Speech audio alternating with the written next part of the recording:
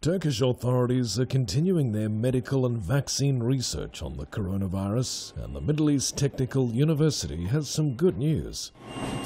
Chloroquine is commonly used in medicines for the treatment and prevention of malarial disease, and Turkish scientists have found a new way to synthesize treatment techniques in the fight against coronavirus.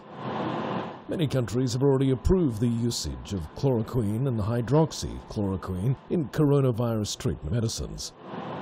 10 gün 10 gün kadar önce başladık ekibimle tamamen gönüllü bazda. Bir doktor öğrencim, 3 tane de master öğrencisiyle Chloroquine and hydroxychloroquine were previously used in malaria treatment, and Dr. Akin Akdag of the Middle East Technical University has started producing a raw material for a coronavirus vaccine.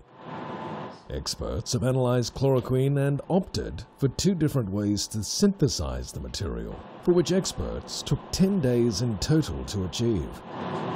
There are many patent ways of synthesizing chloroquine, but experts and doctors are following a new and different technique, and it has been successful.